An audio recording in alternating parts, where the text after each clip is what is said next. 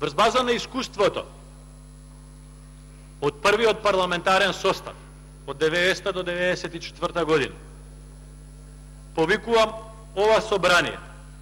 Единствено нешто што може да направи во, во овој момент е да констатира дека овие овој предлог од владата за пристапување кон уставни измени е неприфатлив и ова собрание врз база на доброто искуство од првиот парламентарен состав да се врати на документите од 2008 година кои што се последни правно обврзувачки документи за оваа, за предходната или за било која следна влада.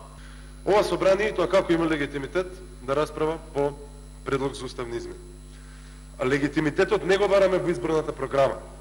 Дури според мене мислам дека легитимитетот на било кое собрание во целост да го бара во било која поединечна изборна програма е многу погрешно. Легитимитетот за пристапување кон промена на уставот е самиот устав кој што на владата и дозволува во кои услови и, и, и, и при кои околности да поднесе барање за пристапување кон промена на, на, на уставот на државата. И поради тоа мислам дека паѓа во вода сето тоа што го зборите дека немаме воопшто право да расправаме по ова прашање. Вашето незадоволство не потекнува од содржината на измените или пак од содржината на договорот, туку од фактот што некој друг го реши прашањето кое што вие не бевте способни да го решите толку долго.